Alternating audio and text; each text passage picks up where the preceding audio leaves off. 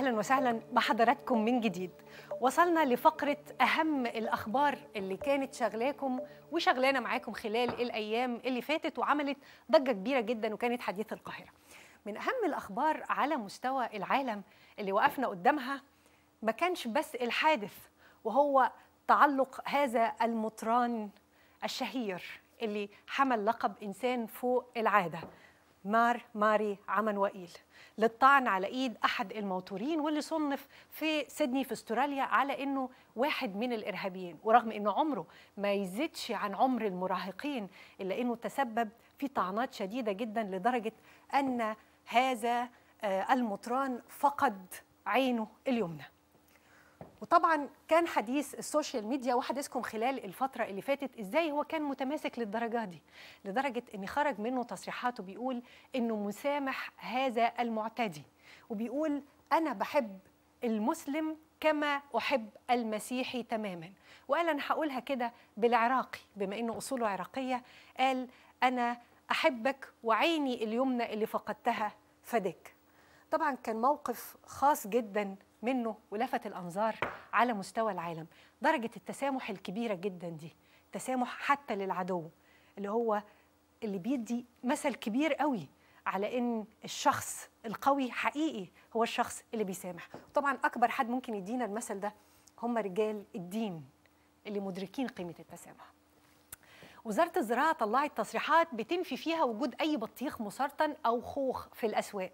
وقالت إن في ناس بتتعرض لوعكات صحية أو حتى أزمات على مستوى الصحة بعد ما بتاكل البطيخ وقالت إن السبب في ده إن في كمية ميه كبيرة جدا وفي نوع من أنواع السكر. هو مكون من مكونات البطيخ. لما بتاكله بعد فترة كبيرة من الغياب ممكن تتعرض لوعكة صحية. فبالتالي ما تقلقوش ما فيش بطيخ مسرطن ولا حاجة. وإحنا كحديث القاهرة هنجيب لكم الخبر اليقين بكرة سوا هنا على الهوا. نعرف إزاي؟ البطيخ. طيب حملة مقاطعة الأسماك اللي حصلت في بورسعيد كان ليها صدى كبير جدا مش بس في بورسعيد لكن على مستوى جمهورية مصر لوحدها. سلاح المقاطعة هو الحل الأمثل ضد جشع التجار. وطبعا بعد ما انخفضت الأسعار لأكثر من 35% ووصلت ل 50% فضل كل حد من الأطراف يرمي التهمة على التاني. الصياد يرمي التهمة على التاجر والتاجر يرمي التهمة على الموزع وعلى أصحاب المطاعم وهلم جرى. لكن مين اللي كان مستفيد في الآخر؟ المواطن. اللي فهم إن سلاح المقاطعة هو أكبر سلاح ممكن يستخدمه. وطبعا هنيئا لأهل بورسعيد هم قدها وقدود. خبر ده كان حديث العالم. وفي أقل من عشر ساعات وصل عدد المتابعين للفيديو القصير اللي نشره العريس والعروسة وطبعا ملياردير هندي شهير وواحد من أهم العاملين والمساهمين في مجال التكنولوجيا في العالم. وزوجته طبعا يعني باع كبير جدا من عروض الأزياء وغيرها في حاجات كتير قوي. الفرح اتعمل في سفح الهرم في منطقة الأهرامات وفي مصر كلها استغرق أربع أيام. أربع أيام أثروا في العالم وفي أقل من كام ساعة وصل عدد المتابعين للفيديو ده 8 مليون شخص حول العالم. وصل بعد كده لمليارات الأشخاص وقالوا إن ده أكبر دعاية لمصر. هم قالوا حاجة مهمة جدا قالوا إحنا قررنا نعمل فرحنا ما كانش عندنا غير اختيار من الاثنين يا إما نخلي الفرح في الفضاء أو نخليه في مصر لكن كسبنا الاثنين في مكان واحد لأن مصر أعظم مكان ممكن تقابله سواء على الكرة الأرضية أو في الفضاء. آه الخبر ده شغل ال social media خلال الفترة اللي فاتت ريم وبربري. بعد قصة حب كبيرة ومتابعة لل couples والناس اللي ارتبطت بيهم وبحكايتهم طلعت إشاعات بتقول إنهم انفصلوا. هم بقى نزلوا الاثنين story على صفحتهم بيقولوا فيه إحنا سمعنا الخبر زيكم. يعني لا انفصلنا ولا حاجة. طيب أمال ماهر ودي خلال الساعات اللي فاتت كانت الترند رقم واحد بسبب حفلتها الأولى في جدة. حفلة كانت عظيمة جدا. كتير من الفنانين كتبوا لها تهنئات وكانت على رأسهم الفنانة الكبيرة أصالة واللي قالت عليت صوت التلفزيون على الآخر عشان أتمتع بصوتك. أمال ماهر صوت قوي وعظيم ووجهة جميلة للغنى والطرب المصري الأصيل وإحنا سعداء جدا بهذا النجاح الكبير اللي حققته في أول حفلة ليها في جدة وخصوصا بعد كتير من علامات الاستفهام اللي إحنا كلنا عارفينها.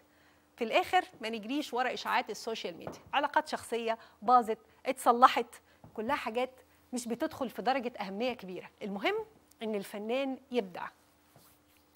القصة دي إحنا وقفنا قدامها في حديث القاهرة. حابين نشارككم فيها.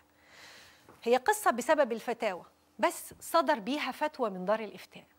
قالوا إن أي شخص يتطاول على رجل علم ورجل دين يعد هذا شيء غير جائز شرعا. لا يجوز للناس العاديين والعامة إن هم يتطاولوا على رجال الدين.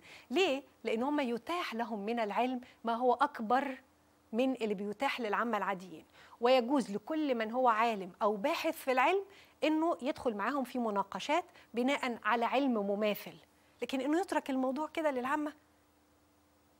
لما يوصل كمان التطاول لدرجة التجريح على عدد من كبار الشخصيات اللي بتتصدى للفكر الإسلامي والفتوى الإسلامية وغيرها لدرجة إن إحنا نشوف الناس اللي بتتكلم عن الدكتورة سعاد مثلا دكتورة سعاد صالح قالوا ليست مفتية وليست عالمة. هي مجرد مقلدة. مش هكمل بصراحة النقد. لكن لما حد يتكلم على عالم آخر وشيخ آخر يقول له كل آرائك وفتاويك ترقيع وتبرير وتغليط الحمد لله الذي حفظ القرآن من التحريف. ونوصل الموضوع لأن حد يقول بورك فيك حضرة الشيخ الجليل على التسهيلات التي تقدمها للمسلمين. بقى عليك تحليل الخمر وبذلك يصبح كل شيء في فتاويك مباح. وحسبنا الله ونعم الوكيل. طبعا إحنا من باب الاحترام الكبير لرجال الدين ومن يتصدى ليه مش هنكتب كل الكلام اللي بيتقال ولا هننشره معاكم. لأن الحقيقة الموضوع فيه تجريح زيادة عن اللزوم. لكن إيه بقى مردود ده؟ وهل فعلا في حد يستاهل إن أنا أقف وأرد عليه سواء كنت رجل دين أو غيره؟ شفنا ما قيل عن الدكتور علي جمعة يعني قمة التهاون بتاريخ هذا الرجل الكبير من العلم والمعرفة وغيره. خلينا ناخد رأيهم هم شخصيا. دكتوره سعاد صالح أستاذ الفقه المقارن بجامعة الأزهر معانا على التليفون. يا دكتوره سعاد مساء الخير. أهلا وسهلا يا أستاذة كريمة. أهلا يعني وسهلا. أنا الحقيقة عايزة أسألك بشكل شخصي وصريح. التعليقات دي بتأثر فيكي؟ والله يعني الأول كانت بتهزني شوية. وكان يعني الله يرحمه زوجي كان في مجال الإعلام. فكان بيديني يعني شوية تحمل م. يعني كان بيصبرني كان بيقول لي ده شأن المكين آه وده حاجة ما تزعلكيش بالعكس ده حاجة تخليكي يعني تديكي دفعة قوية فإلى أن لما لقيت الموضوع بدأ يتكرر كده سعاد صالح تقول سعاد صالح تعيد وتشويه للكلام بتاعي وبتر للكلام بتاعي وللأسف الشديد سواء صحف صفراء ولا قنوات حمراء أصبحت بقى لا أعتني ولا أتأثر بأي شيء مما يقولون طب دكتورة سعاد دكتورة نعم. سعاد حضرتك قلتي إن الحمد لله تخطيتي الموضوع ده لكن في ناس بتتهم بجزئية تانية إن ده بيجري في بحث عن الترند إن أنا عايزة أبقى أكون موجودة ترند آه فبالتالي حتى الشيوخ كمان بقت بتدور على الترند بدليل إن أنتوا بتفتحوا موضوعات وتتكلموا فيها وتسمحوا لمذيعين يناقشوكوا في موضوعات بصيغة آه هجومية. والموضوعات دي مش من المفترض إنها مباحة للعامة كلهم إن هم يتناقشوا فيها بشكل على اختلاف علمهم يعني. والله يا أستاذة كريمة أنا ليا مبدأ بآية قرآنية سبحانه وتعالى يقول في سورة فصلت ومن أحسن قولا ممن دعا إلى الله. وعمل صالحا وقال إنني من المسلمين. فأنا حسيت إن أنا ربنا سبحانه وتعالى كلفني بالقيام بهذا القول الحسن وبيانه للطائفة التي لا تعلم سواء كانت فتوى سواء كان توضيح عن قول معين. بعدين إحنا عندنا طب يا دكتورة سعاد يا دكتورة نعم. سعاد أنا آسفة جدا والله مش بقطعك بس يعني إيه اللي يدخل في ده كتوضيح؟ إن أنا أدخل في تفصيلات الأمور إن على الخطيب إنه يرى جزء أو كل من جسم خطيبته ويتلصص ويتجسس وغيرها من الفتاوى أو أنا مش هدخل فيهم كلهم. بس بنوصل عند جزء معين من الفتوى حضرتك بتبقي مدركة أكتر من الناس إن هو هيثير ردود فعل كبيرة جدا يا أستاذة كريمة أنا مش هعتبرها مشكلة أنا تخصصي فقه مقارن بمعنى إن لازم أبين الحكم في أكثر من مذهب. وأترك للمستفتي إن هو يختار المذهب الذي يتناسب معاه. ولذلك إحنا عندنا قاعدة فقهية بتقول أن الفتوى تتغير بتغير الزمان والمكان. يعني حضرتك ما ندمتيش على أي واحدة من هذه التصريحات اللي كنت بتقوليها في البرامج مؤخرا أو اللي أثارت زي ما بنقول ردود فعل واسعة؟ ما كانش في أي ندم وقلتي لا ما كانش المفترض أقول كده لا ال- لا لا أنا أنا لما على حضرتك أنا لما برجع ما بحس بخطأ وبرجع فيه بعلنه. وبقول أنا أخطأت في هذه الفتوى. والصواب هو كذا وإن بعض زمايلي وجهوني لما يجب أن يكون في هذه الفتوى. طب يعني مثلاً- واللغط مؤخرا ده ما فيش أي حاجة حضرتك تحبي تعتذري عنها أو تقولي إن أنا أخطأت فيها مؤخرا؟ لا يعني الفتوى بتاعت ما يسمى بترقيع غشاء البكاره ها. آه، دي طبعا أنا لما كلمت فيها كان ليا وجهة نظر وهو الستر. وكان ليا وجهة نظر فعل الرسول عليه الصلاة والسلام في الأشخاص اللي قاموا بهذه بهذه الجريمة أو بهذه الفعلة يعني. فأنا كنت بقتدي بمنهج الرسول في الستر. عليه الصلاة بعد والسلام. ما كنت قلت يبقى في تر... لا يوجد ترفيع عشان الغش. لقيت إن زمايلي من الأزهر وأساتذة زمايلي قالوا يا دكتورة إن في إن إحنا عايزين نستر لأن بيترتب على ذلك ضرر كبير. فرجعت في نفس القناة. وأنا فاكره الفتوى بتاعتي دي كانت في قناه اوربت. ورجعت في نفس القناه اللي أنا قلت فيها الفتوى وقلت أنا آه، زمايلي رجعوني وبكذا كذا كذا ولقيت الادله كذا وضحت. كده كده حتى هذه النقطة وضحت. دكتورة سعاد صالح أنا بشكرك جدا على التوضيحات اللي قدمتيها النهاردة وأتمنى على الناس إنها تتحرى أصل كل حاجة وتقرأ فيها لأن الدين يا جماعة مش مقصور على أشخاص عليك أن تقرأ لتتعلم. ومن الدكتورة سعاد والفتاوى اللي أثارت وجعلت الشيوخ والأئمة والعلماء في مرمى السوشيال ميديا لا جازة على قد الإيد. كل سنة وأنتم طيبين. أكيد آه اليومين الجايين دول النهاردة السبت حد اتنين عندنا يومين كمان فاضلين لسه في الأجازة تقدر تروح فين؟ أنت وعيلتك وأصحابك. إيه الأماكن اللي تقدر تروح لها؟ بميزانية ما تضايقكش قوي. ده سؤال مهم جدا. خلينا نقول إن اللي هتجاوب لنا عليه هي آه، بسنت صفوت اللي موجودة معانا دلوقتي على زوم. هنا في حديث القاهرة بسنت مساء الفل. مساء الفل إيه الأخبار؟ إحنا كويسين جدا. بصي عند بسنت الخبر اليقين. على قد الإيد. أروح فين في اليومين اللي باقيين في الأجازة؟ أتفسح أنا وأصحابي أو أتفسح أنا وعيلتي. تمام. طبعا هو في أماكن كتيرة جدا موجودة في مصر جميلة قوي نقدر إن إحنا نروحها؟ خصوصا إن إحنا طبعا داخلين على شم النسيم يعني الجناين بقى الجميلة اللي عندنا كمان الجو عندنا تحفة. نقدر إن إحنا نستمتع بالأجواء دي في الجناين العامه أو الجناين الخاصة آه، في الرحلات النيلية الجميلة اللي بتقدر إحنا ناخدها مثلا بالمراكب أو الفلوكة دي الصغيرة. بتبقى جميلة قوي أو حتى اليخوت اللي بتبقى في النيل. آه، نقدر كمان نروح مثلا day use في أماكن قريبة من القاهرة. في حاجات مثلا زي راس سدر العين السخنة آه، قرية تونس مثلا في الفيوم في ناس كتير ما كانتش عارفاها بس هي بصراحة أنا رحتها قضيت فيها يوم كانت جميلة جدا.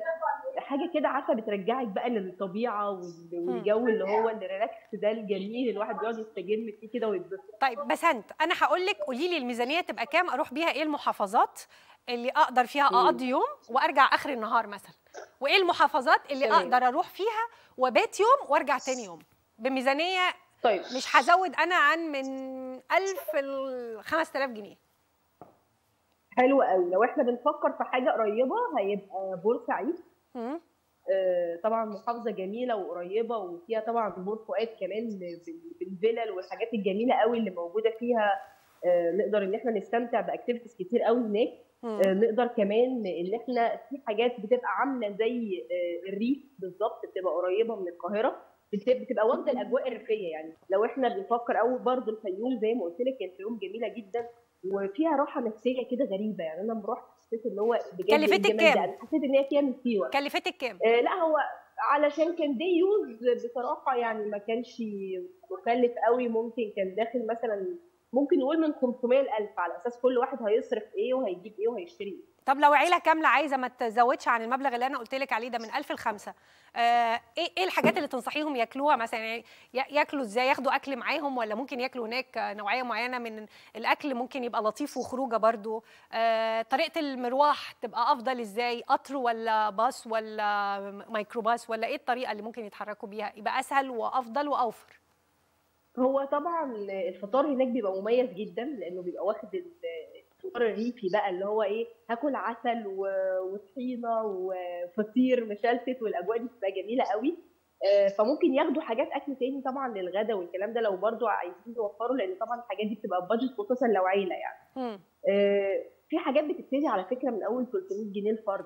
فين؟ آه، بتبقى يوم بتبقى برضو قريبة من القاهرة بتبقى أجواء زي الريف كده بالظبط بيبقى عارفة زي الحدائق ال- الخاصة تمام؟ بس بيبقى مكان تمام؟ فيه بسين مثلا في آه، أجواء ريفية الحاجات دي كلها بيبقى عائلي قوي. يعني مثلا فرد ب 300 جنيه أو 350 هو ياخد فطار آه، ويتفرج على عروض آه، شعبية يشوف ال- آه، الجو الريفي عامل إزاي ودي بتبقى قريبة لو يوم واحد. هايل. لو هيبيتوا ممكن اسكندرية تبقى حلوة جدا خصوصا لو عيلة مثلا بتاخد شقة أو مكان بيبقى طبعا مش مكلف زي الفنادق. وهيروحوا يوم مثلا على البحر الكلام ده كله هيجيبوا أكل يقعدوا ياكلوا كده قدام البحر. الأجواء دي بتبقى جميلة جدا ومش مكلفة خالص. يعني عايز أقول لك في اسكندرية هو لو بعدوا عن مثلا في حاجة ممكن ناس كتير ما تعرفهاش. لو بعدوا عن المطاعم والكلام طبعا مش بقول في مطاعم كويسة جدا بس أنا عن نفسي بحب إن أنا أروح جوه الحاجة نفسها يعني أروح بورسعيد أروح مثلا جوه السوق أجيب الحاجة أنا وتتعمل قدامي وهي برضو. وهي تبقى فسحة برضو كمان يا بسنت بصي انت أكيد، قدمتي لي أكيد. مفاتيح مهمة جدا أنا بشكرك عليها شكرا جزيلا بسنت صفوت شكرا محافظاتنا كلها حلوة. يعني بورسعيد غير اسكندرية غير الفيوم غير الأماكن الريفية الصغيرة. القرى والناس اللي فاتحة بيوتها بتعمل آه، حاجات كده وقاعدة لطيفة على مدار اليوم. السوشيال ميديا مليان. دور وشوف ال budget بتاعك إيه بس أنت اديت لك أول مفتاح والباقي عليك. خلينا نطلع فاصل ونرجع نقابلكم تاني. وحديث القاهرة مستمر. السؤال اللي جاي. إيه هي الأسئلة المشروعة والأسئلة الممنوعة في حادث طفل شبرا الخيمة؟ الإجابات بعد الفاصل مع ضيوفنا هنا وانتبهوا جدا لأن كل كلمة هنقولها لازم تتسمع. فاصل ونتقابل.